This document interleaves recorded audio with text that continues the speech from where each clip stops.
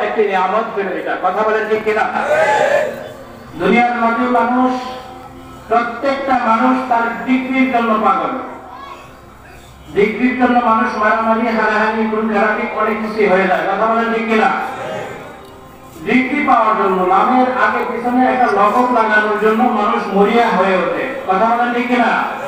কিন্তু দুনিয়ার কোন ডিগ্রি দুনিয়াতেই কাজে আসবে না, কোনো কাজের কোন কাজে আসবে না। কথা বলেন ঠিক কিনা? আমি আপনাদের সামনে যে আয়াতগুলো তেলাওয়াত করেছি, এই আয়াতগুলোর ভিতরে আল্লাহ রাব্বুল আলামিন আমাদেরকে অত্যন্ত মহব্বত করে বাংলাদেশে একটা লকম একটা ডিগ্রি দিতেছেন। আল্লাহ তাআলা বলতেছেন, এই ডিগ্রি লাগাইয়া যে ব্যক্তি কবরে আসতে পারবে, সে মরতে দেরি জান্নাতে যাইতে দেরি নাই বলেন সুবহানাল্লাহ। সেই ডিগ্রিটা কি? সেই ডিগ্রিটা হইল মুমিন। সেই ডিগ্রিটার নাম কি? মুমিন। মুমিন আমরা সবাই, যারা মুসলমান, সবাই মুমিন। সবাই কি? মুমিন। কিন্তু একটা হলো শুধু মুমিন আর একটা হলো প্রকৃত মুমিন, সত্যিকার অর্থে মুমিন। কথা ঠিক কিনা? আল্লাহ তাআলা এখানে পাঁচটা বৈশিষ্ট্যের কথা বলছেন। কয়টা? আমার সাথে সাথে কথা বলতে হবে। কথা বলব মাত্র দশ মিনিট। পাঁচটা বৈশিষ্ট্যের কথা বলছেন।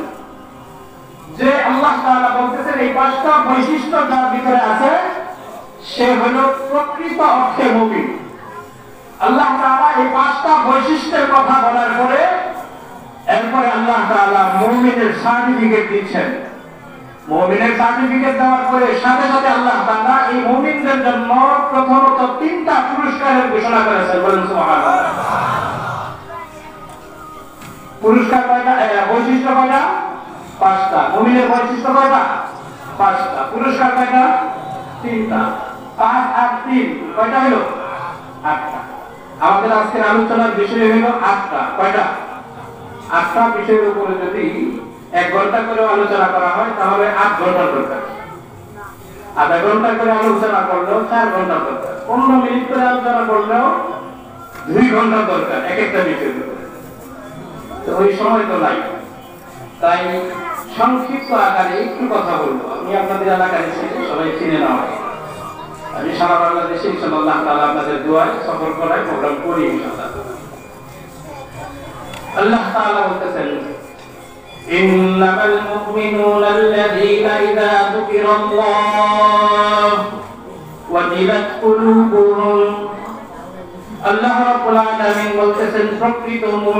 বৈশিষ্ট্য বলতেছেন, প্রকৃত মুমিন হবে সেই যার সামনে আল্লাহ তাআলার নাম উচ্চারণ হওয়ার পরে, আল্লাহ তাআলার নাম তার কানে যাওয়ার পরে তার কলবের ভিতরে একটা জ্বালা সৃষ্টি হয়ে যায়।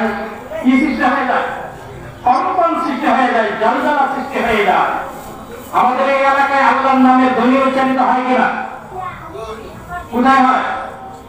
মসজিদে হয়, মাশাআল্লাহ। সবাই বলেন না কেন? মসজিদে দৈনিক কয়বার হয়? পাঁচবার পাঁচবার দৈনিক মুয়াজ্জিন বলে আল্লাহু পাঁচবার ডাকে। আসলে তো মুয়াজ্জিন ডাকে না মুয়াজ্জিনকে দিয়ে আল্লাহ তাআলা ডাকান। যদিও আমরা বাহ্যিক দৃষ্টিতে দেখি, আব্দুল করিম আব্দুল রহিম ডাকতেছে। কিন্তু আসলে ডাকতেছে কে? কথা বলেন না। ডাকতেছে কে? কথা বুঝেন না ডাকতেছে কে? আল্লাহ তাআলা ডাকতেছেন। আল্লাহ তাআলার পক্ষ থেকে এই ডাকগুলো যখন কোন মুমিনের কানের ভিতরে যায়, আল্লাহ রাব্বুল আলামিন বলেন, এই ডাক কোন মুমিনের কানে যাওয়ার পরে যদি কোন মুমিনের কলবের ভিতরে চালচালা সৃষ্টি হয়ে যায়, আল্লাহ তাআলার পক্ষ থেকে ডাক এসেছে, আমি আর কাজ করতে পারব না। গাড়িওয়ালা আর গাড়ি চালায় না, গাড়ি বন্ধ করে মসজিদের দিকে রওনা হয়ে।